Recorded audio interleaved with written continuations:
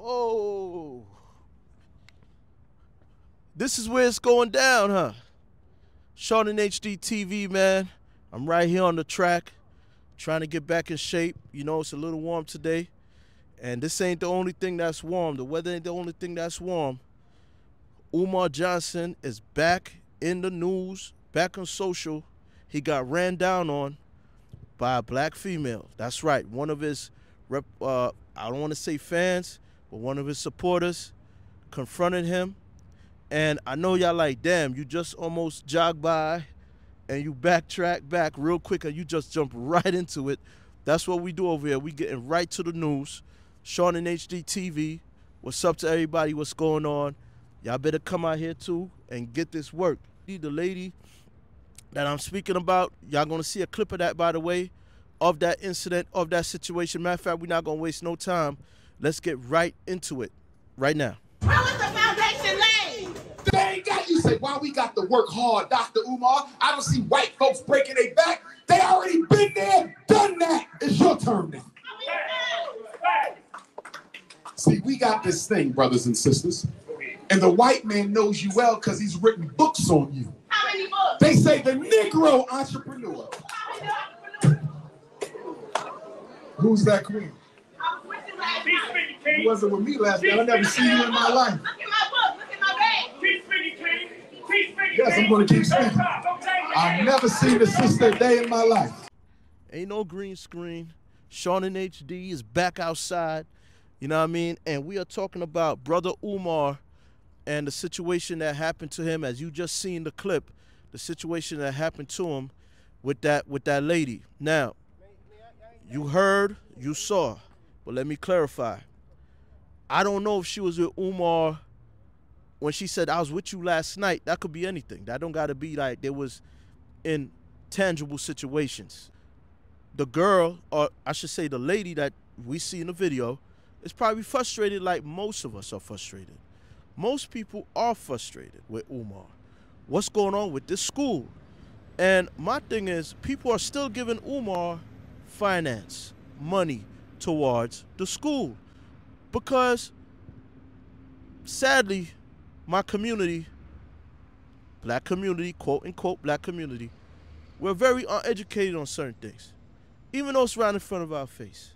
There's no way Brother Umar, Umar Johnson, is going to be able to fund and pay for those two abandoned buildings.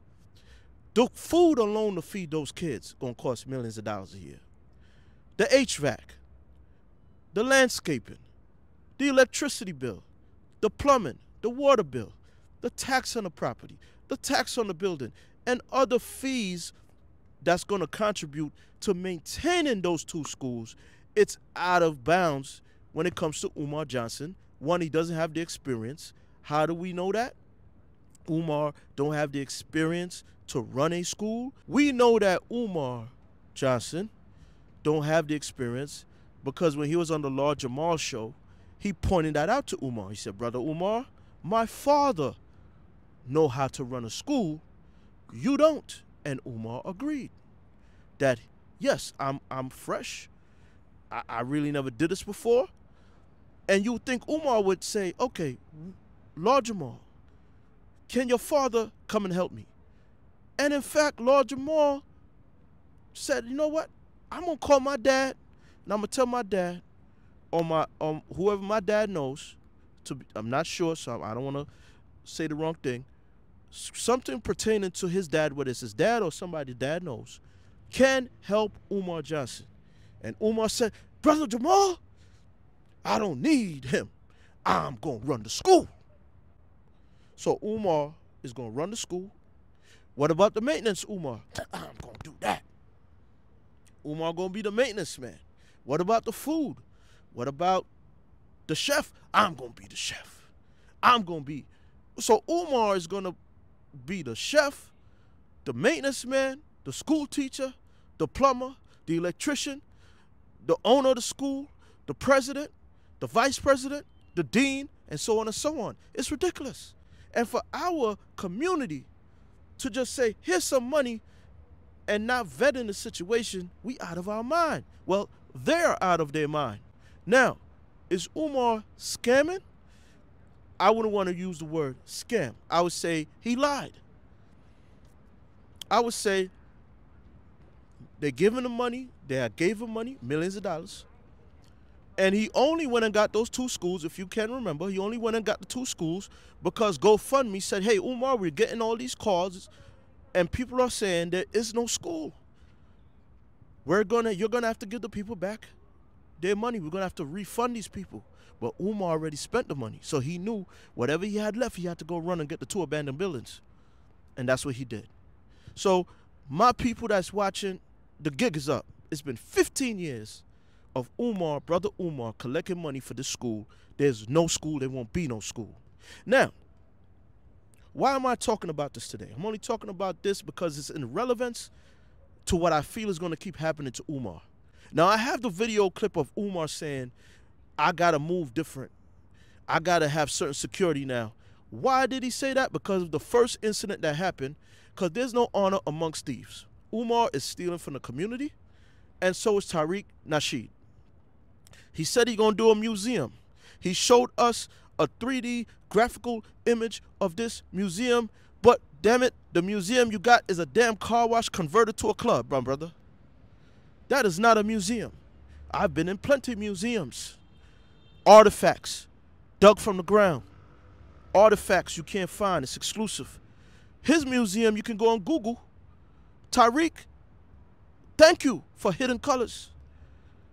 But you are doing the same thing Umar has done and is still doing. That is not a museum. Go to his so-called museum. You can go on Google and find those fake. Uh, they're not even real artifacts. I wouldn't even use the word artifacts. We have these two men who are thieving from the community, stealing from us. And what I mean by stealing, they are lying. They are misleading. They have misled. There's no honor amongst thieves. So this is where Tariq Umar got into it. Because there can be two thotties on the block strolling. They're going to bump heads. They're going to fight over the Johns. Same thing here. There can't be two thieves on the block. One of you got to go. So they bump heads. They doing the same thing. Tariq sent a goonie. When Umar was in that church, I was there. And the worst person or the most significant person in any situation is the damn eyewitness. Well, guess what? I'm the eyewitness. I was there when Tariq Homie, his goonie, ran down on Umar. And that video was out, but I can explain what happened another time for those that don't know or you're not privy to what happened that day on Marcus Garvey's birthday. Shout out to Marcus Garvey. May he rest in peace. And he's turning in his grave because black men are using his name and using his prestige to not only collect money from the black community, but the black community is still being lied and being deceived by these people, aka Al Sharpton. I mean, Mo'Nique came out and said some stuff, but I'm putting y'all on as well. These men, they look like us, but they're not for us. This lady, Press Umar, he hasn't learned from when homie ran down on him in Harlem. He hasn't learned his lesson because this lady was able to come in and she threw a bag at him. You see it in the video. She threw a bag at him. Okay. What if it was a hammer? What if she had a weapon? What if she had a weapon? He would have been gone. No more Umar Johnson. All I'm saying to you, the public, to you that's listening and watching, Sean and HD TV, I'm back outside. Oh, it's gonna be crazy. They see this is what they didn't want. I'm back outside. Oh, it's gonna go down now. It's going down. But I had to address the Umar thing because I am for the black community. I am for my people. And I think for my I'm a young elder. I'm younger than Umar. I'm a young elder. And I'm telling the ones younger than me, let's stop the buffoonery and the foolery. We not going for the, the banana and the tailpipe. By the way, that that movie come back out. Shout outs to uh, Eddie Murphy. You know what I'm saying? That movie come back out, Beverly Hills Cop.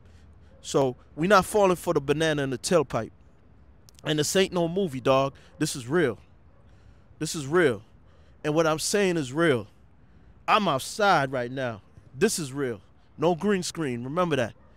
And I had to address the Umar thing because I seen the emotion, I seen where it can go, and he even Umar was scared that day for his life.